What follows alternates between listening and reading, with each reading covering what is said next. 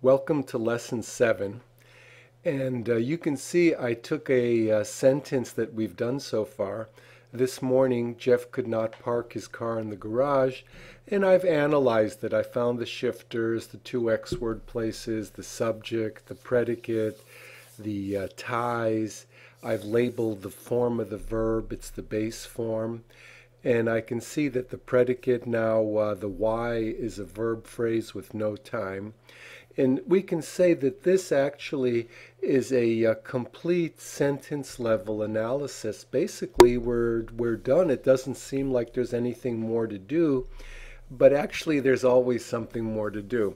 So our next step is we want to take a closer look at the Y place or the Y sector because um, the Y sector, when we remove it from the predicate and we look at it uh, alone, we can see that that phrase, that verb phrase with no time, has some of its own places. So let's take a look. The first thing is when we take a look at the Y sector, we can see that in the Y, there's a special place for the verb and the verb is going to be the first place in that Y sector. For example, shoppers shop. Here we have a Y shop the, with the no S form. My friend watches. My friend is the subject, it's in blue. Watches is the Y, it's a verb, S form. One shopper fainted. One shopper is the subject, fainted is the Y, the X and the M places are empty, and this is the past form. Two shoppers did not see. Two shoppers is the subject, did is the X word, not is in the M place, it's the M word. The Y is see, and if I were to rewrite it, I'd take a look and I'd say that, oh, here we go, see is the verb. They were arguing. They is the subject, the X word were. Arguing is the Y. Arguing is the ing form. And they have stopped. Um, they is the subject, have is the X word, stopped is the DTN form. And we can see basically what we're saying is that in the Y, the first place we have is a place to put the verb. And all of our six different verb forms can go in there. Now next, when we take a look, the Y sector also contains a place for an object. The object is really what receives the action of the verb. Uh, very often we can identify objects with questions beginning with who or what or which. Uh, an object also can become the subject of a passive sentence, and that's another way that we can decide do we really have a subject? What is the subject? Um, for example, what did the shoppers buy? The shoppers bought presents. We can see the shoppers is the subject. We're looking over here in the second sentence. The shoppers is the subject.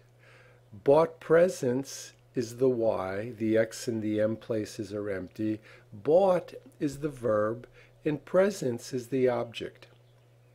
Uh, I could also use the object in a passive sentence.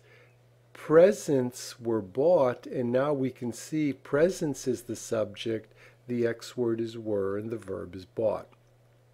Who did they ask? They asked the clerk.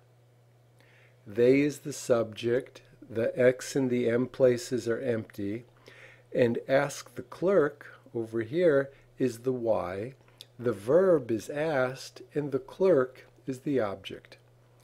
If I wanted to, I could take the object and use it in a passive sentence. As the subject, the clerk was asked. Which shirts did they touch? They touched the soft shirts. Touched is the verb, the soft shirts is the object, I know it's an object because I could also use it in a passive sentence as the subject. The soft shirts were touched. Okay. So far, so good? And we can continue. The Y also contains a place for the complement. And the complement says something or makes a predication, that's another way of saying it says something, about the subject, the verb, or the object in its sentence. And that's why you may have heard there's such things as subject complements, object complements, and verb complements. Identify the complement last because the complement is what remains in the y place after the verb and the object places have been determined. That's the easiest way to do it because uh, there's no reason to jump to the complement first when really the first place we see is the verb place, the next place is the object. So we might as well leave the complement for last since it's the last place in the y sector. For example, George watched a movie on his TV, on his new TV. So when I analyze that, I see George is the subject. There's two X word places. Both of them are empty. Watched a movie on his new TV is the Y. It's a verb phrase with time because watched is the verb. The verb has ties in the sentence, which means that it's the head for the Y.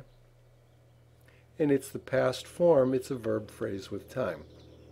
When I take a look at this, I see that after the sentence level is complete, then our next step is to rewrite the Y portion. And then we can identify the verb, object, and complement places. And we can also label the phrases we find in those places. So the Y is watched a movie on his new TV. Watched is the verb. A movie is the object, it's a noun phrase. On his new TV is the complement, it's a prepositional phrase. Very often, complements are going to answer questions like Where did George watch a movie? Or when did George watch a movie? Or how did George watch a movie? Or how much did George watch a movie? Uh, those kinds of answers are going to be complements but what did George watch is going to be the object.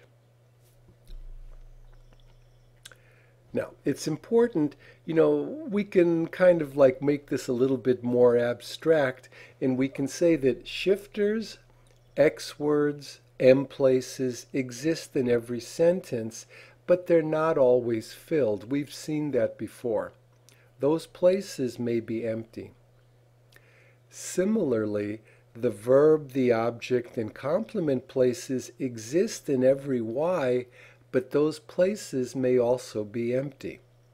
We've said every sentence must have a Y, so we're going to have a verb or an object or a complement in the Y place, but we may not always have three, all three of those or even two of those, but we'll always have at least one.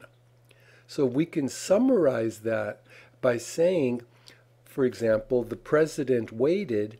Waited is the Y, and when I analyze the Y, I see that waited is the verb, the object and complement places are empty. The president said good morning. What did the president say? Good morning. I take a look. The president is the subject. The X and M places are empty. The Y is said good morning. The Y has the said, that's the verb, and it has good morning, which is the object, but the complement place is empty. The president said good morning to Bono. The president is the subject, the X and M places are empty, said is the verb, Good morning is the object, and to bono is the complement. Now we see all three places are filled in Y. The president drove to the White House. The president is the subject, X and M places are empty. Drove to the White House is Y. When I take a look at the Y, I see that drove is the verb, the object is empty, and to the White House is the complement. For example, where did President uh, where did the president drive? To the White House. Um, the president is an important person. The president is the subject. The presidency is an important position. Excuse me. The presidency is the subject, is is the X word, the Y is an important position. We can see it's a noun phrase. When I take a look at that Y, I'd rewrite it on the next level and I'd see that the verb place is actually empty. There is no object because you have to have a verb to have an object.